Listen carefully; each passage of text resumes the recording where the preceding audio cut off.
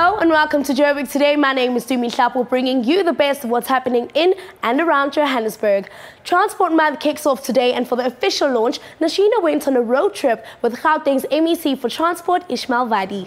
Gauteng MEC for Transport, Ismail Vadi, officially launching Transport Month. It's been going on now for 15 years, but 2015 marks a milestone.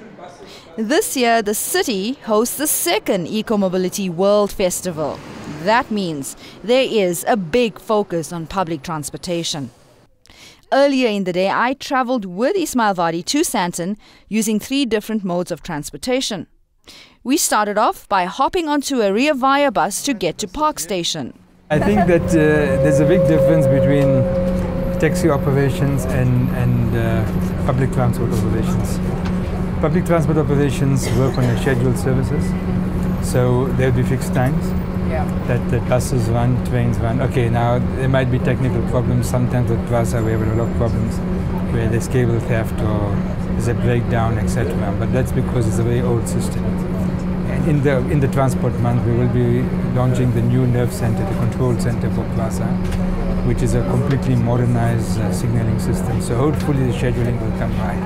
And once the new trains come on board, uh, that, that system will run quite well. But if you take Gautrain, it has a punctuality rate of 98%. That's excellent. It will compete with any system in the world. In fact, it uh, two, uh, not last year, the previous year, it won the global award for one of the best run rail systems in the world. It competed against Canadian, British, all sorts of rail services, and it won the global award. So, punctuality is a critical part of public transport system, and I, and I think Gautrain is setting the best practice. And okay, we're very good today. On Well, time, we were actually on 30% time. It was good, and it wasn't quite. It, wa- see when we it actually it wasn't wasn't a long wait because we got here at around uh, eight eight o'clock. Past eight, unfortunately. Yeah, and scheduled to leave at twenty past eight, exactly twenty past eight. So it's good. It's very good. Our destination, Park Station, to get onto the Gautrain.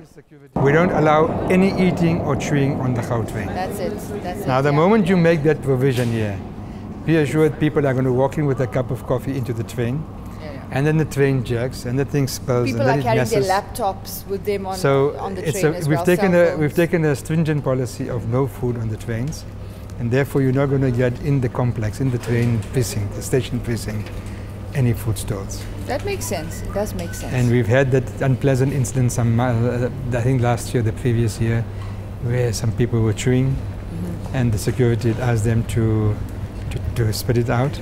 And there was a little bit of an altercation. And of course, the, the, the commuter made all sorts of allegations against the security officer. Fortunately, we had a video, video footage of the thing, camera footage.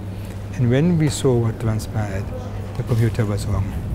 And we slapped her with a fine of 800 rands. But that's to send a message that you respect the rules. This is a public transport system. Everybody must enjoy it. And if the rule says no eating on the train, then no eating on the train. and that's that was chewing gum.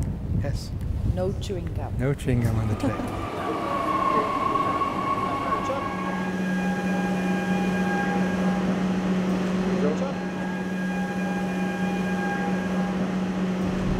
So welcome to Gautrain, Africa's pride and joy.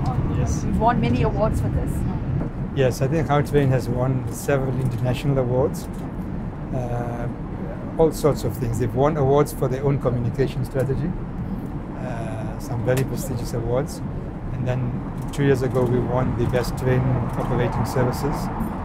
Um, very, very punctual service, very reliable service, very good growing ridership. When you get in, you can see it's world class. So it's a, it's a growing ridership. Uh, we're still not where we should be with our ridership. Uh, at the In moment, it's, no, at, at the moment it's 1.4 million passengers a month. But uh, we should we should actually be doubling that in the next few years. So the prediction is that we'll get to that point in seven years. But I've been telling the management agency that we really need to bring it down to a quicker time so that we can have a full ridership. And again, uh, I think we're experiencing a similar kind of thing.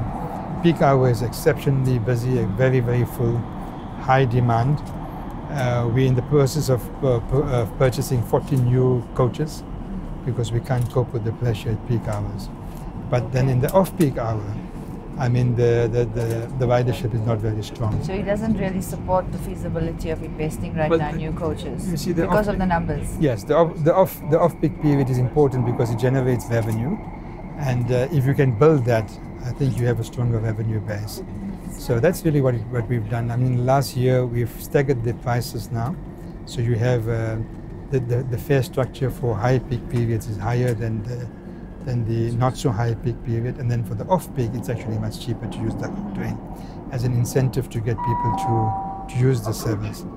The Gautrain station in Sandton has a new node that's been developed to facilitate buses, taxis, and even tuk-tuks. when tuk tuks came onto the scene, uh, a number of business, enterprising business people just got this the, the equipment and started using it. And we had to meet with them quite early to say, look, you're going to have to register with us because you're offering a form of public transport services. Uh, if we go out here and an accident occurs and your passenger dies, what happens? Or your passenger seriously injured. So it's critical. I mean, that Investec had, a, had its own shuttle service. There's a number of clients that they get coming in and out all the time, going to the station, to the airport. So they provide their own shuttle. I wouldn't mind getting one of these for myself. Then you can run around. just to move around the city. It's amazing. I've lived here for so many years. I had no idea we had so many tuk-tuks to move Yeah. around, to move around, especially in the Sandton area that's so congested. It's- it's- you want to spend the day in Sandton, go shopping, whatever, move Yeah. from place A to place B, just pop into the convention center. It's 25 rand, which uh, is uh, Takes kind of the lowest if you have to compare uh, Yeah. fees with taxi services. Even if you compare it with Uber, it's still quite low. And then the question for any consumer is, what is low anyway? No, but I think I, I- I mean you've got to also look at their, their you know their yeah. work, their labor and effort Yeah. that's involved, the running costs, and it has to be profitable. Otherwise, it, it, it won't survive. Which? Nashina Mohammed for Joburg Today.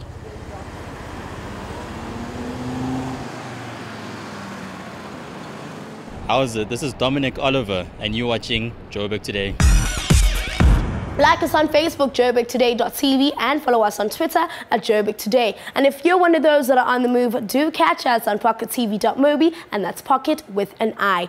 The hashtag Decongest Sandton campaign promoting green mobility seems to have attracted a whole lot of attention. Joburg Today went and found out a bit more about the campaign's progress since it started last year. Time is money. In few other places in South Africa, this rings so true than in the Sandton CBD. The hashtag Decongest Sandton campaign's efforts to promote cycling could help lessen time spent in traffic in the continent's richest square mile.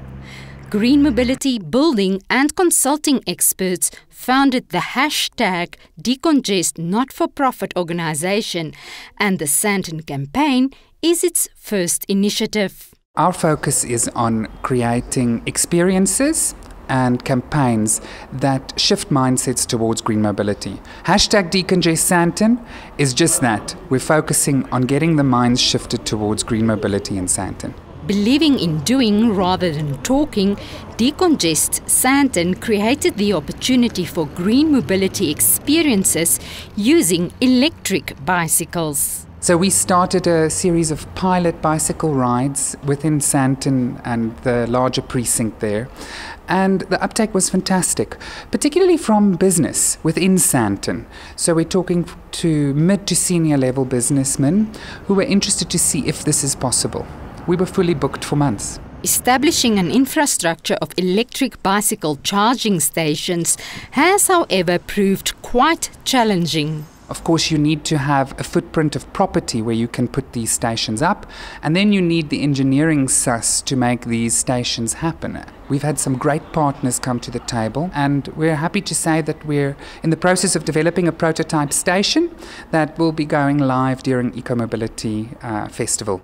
This campaign has another dimension research about green mobility and cycling as an everyday mode of urban transport. We haven't really gotten to the nuts and bolts of the numbers yet, but from the qualitative, the experiential side of it, we've gained a lot of insight in the uh, factors that should be around for people to feel safe on the roads. And at this point in time, our research is indicating that we're still a, still a while off. But how much progress was made in changing behaviors? Now, whether we've been successful in getting the actual traffic numbers down, I'm not 100% sure. But I know for a fact that we have really started the conversation. And we've gotten very key players within the Sandton business community to engage our stakeholder meetings and start talking about this.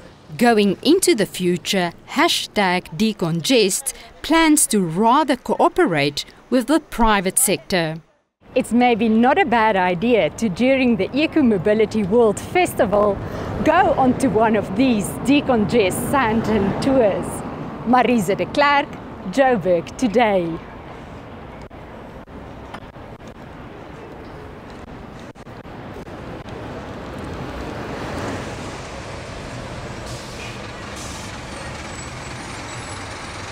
Hi, this is Matata James, and you're watching Joburg Today. That's it from today's show. For more on the city, do check out our playlist. From myself, Dumi Nhlapo, I do leave you with Use Me by Jesse Clegg.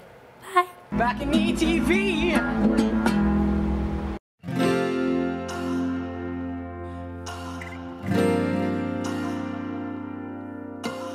Wait for me, I'll wait for you.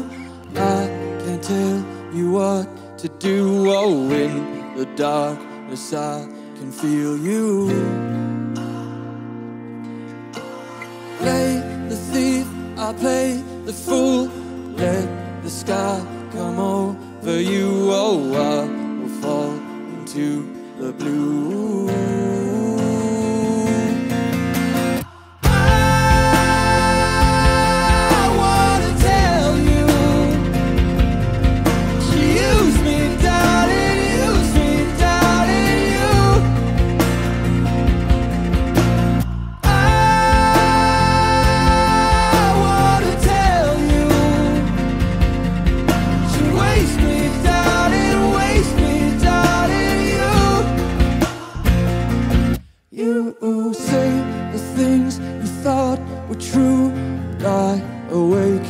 Feel confused. Oh, I will find my way back home to you.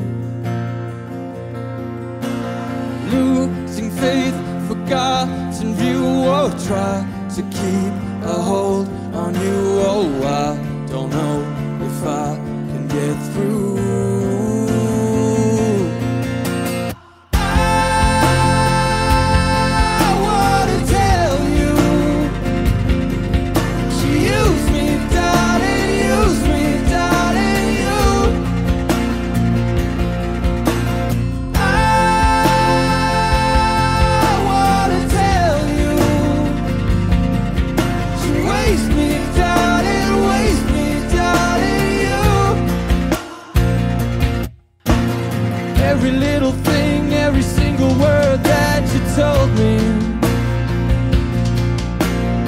Every last moment, chances you could console me. There's nothing to feel. There's nothing to feel now.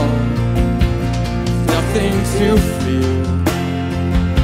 There's nothing to feel now.